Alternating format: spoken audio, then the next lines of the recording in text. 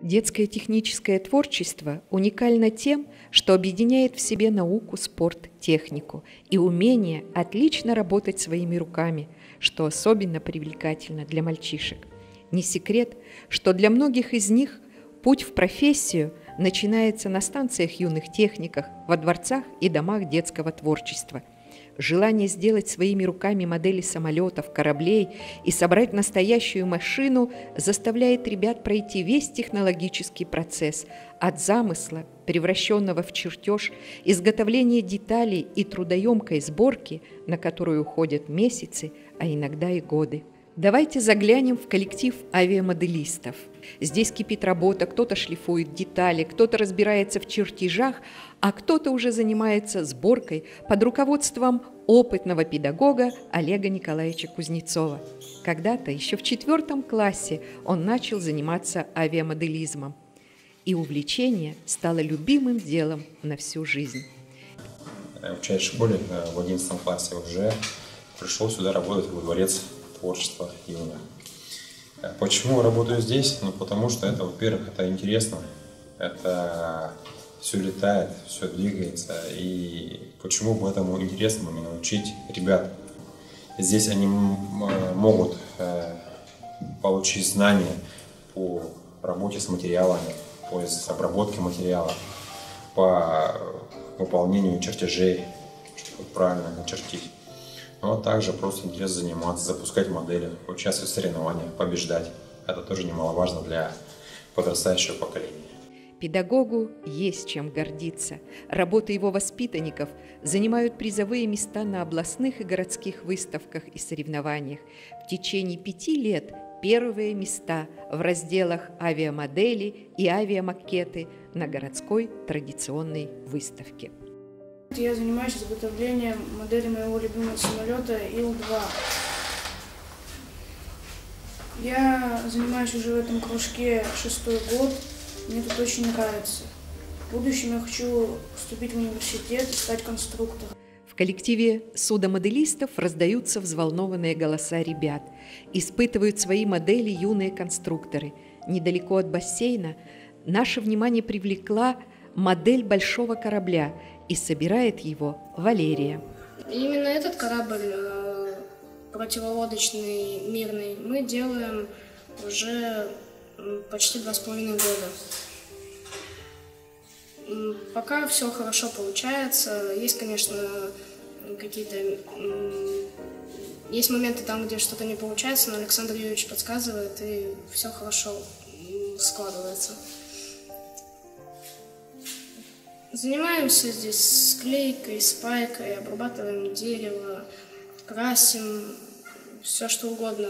Любой вид работы здесь присутствует.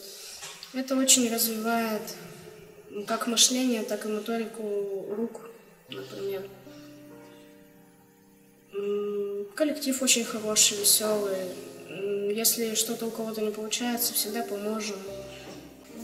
На данный момент хочу продолжать здесь заниматься, помогать Александру Юрьевичу и потом продолжить его дело. Продолжить дело своего педагога.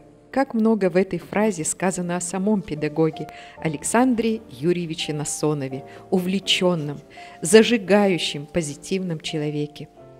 Его коллектив ежегодно принимает участие в городских и областных соревнованиях по судомоделям и завоевывает призовые места. Являясь обладателем единственного в городе бассейна для судомоделистов, Александр Юрьевич – бессменный организатор городских соревнований. Он понимает, что соревнования – хороший стимул для воспитанников в совершенствовании самого себя и своей модели.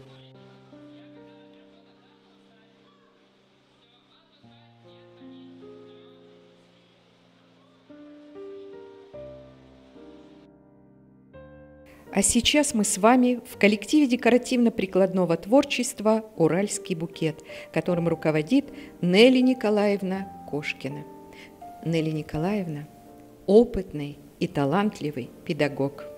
Реализуя э, образовательную программу «Уральский букет», рассчитанную на детей от 6 до 17 лет, я знакомлю детей с различными техниками и направлениями декоративно-прикладного творчества.